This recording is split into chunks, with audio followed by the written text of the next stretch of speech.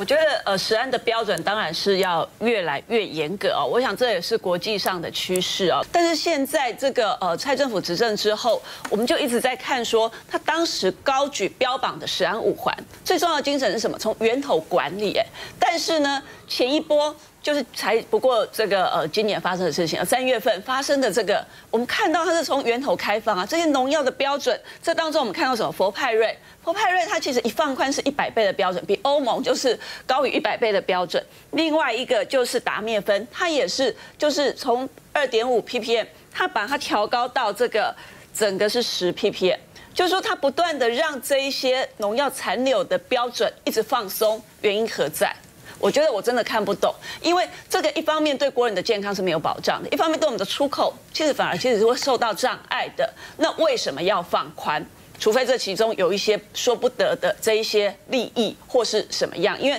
前一波的讨论，大家也说，那为什么要开放这样的一个新药？这个还有民进党委员出来说，哎，我们不是啊，我们是要用新药来取代旧的农药，旧的农药都比较毒哦，所以我们这个新的农药是比较好的，毒性比较低的，一度还想要这样子带风向，但是因为民意的反弹，大家真的是觉得说不可以就是不可以嘛，什么新药比旧的农药好，那你旧的你也没有取消啊，所以这一连串的食安措施，我们都觉得。的是有点荒腔走板，那跟荒腔走板呢，就是说，如果我们说食安是要从源头把关，但是现在蔡政府的前瞻计划里面花了五十亿是要盖十安大楼，是盖这样子一个硬体，我们看不到它源头把关到底把关在哪里，因为连这样的一个标准你都是先放宽。那你将来的检验，那根本就没有意义了。当然，我觉得这个议题有两个层次啦，一个是就是说从安的角度来讲，我们过去其实是比较宽松的，但另外一个呢，当然免不了有一点点政治的这个意涵，因为过去可能中国大陆它其实两岸关系好的时候，它很多在检验上面。